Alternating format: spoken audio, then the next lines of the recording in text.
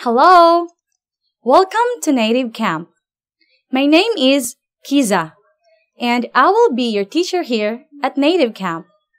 I do love reading books and dancing, and I teach by heart too, because I really want my students to learn more from me.